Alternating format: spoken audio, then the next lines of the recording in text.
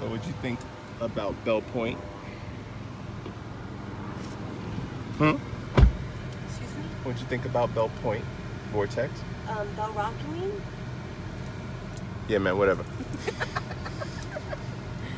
It was great. Define great. Breathtaking. Words can't explain. Um, my husband was looking for an experience, some kind of spiritual experience, and he said people cry and stuff, and he doesn't feel it. And I say he's gonna feel it when I punch him in the head. I felt nothing. Settled.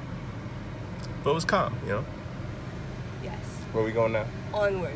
Flagstaff. Oh, and for Ellie,